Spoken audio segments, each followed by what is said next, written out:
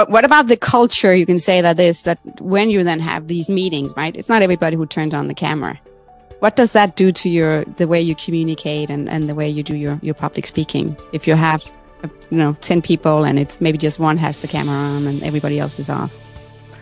Right, so it obviously makes it more challenging for sure whenever we're delivering presentations. So there's a couple of angles I would go in there, Sannah. So the first angle is if you're the person giving the presentation. So if you're the person giving the presentation, we need to understand that energy is harder to get online. It's yeah. a lot easier to show up with energy when you're in person. So the key is you got to increase your energy in person and transfer as much of that energy as possible back in person. But the other angle is if you're the person listening to the Zoom call, to the Teams workshop. Here's my recommendation. Every time you show up in a meeting, it's a reflection of your personal brand.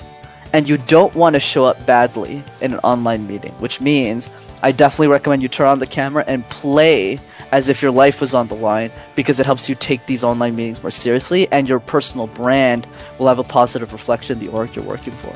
Yeah, I've seen some that if, if somebody start to turn off the camera, you know, other team member will, will mirror that. So it's like who come on, who actually started the meeting.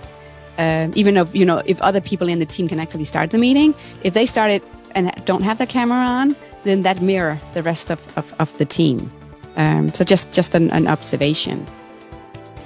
Thanks for listening to this episode of Mind Innovation Podcast. New episodes are dropping bi weekly, so make sure you're following wherever you get your podcast. You can find me on LinkedIn, search for Sannah Vinding. You can also find me on YouTube, search for Mind Innovation, or go to my website, sannahvinding.com or mindinnovation.com. Stay curious, keep learning.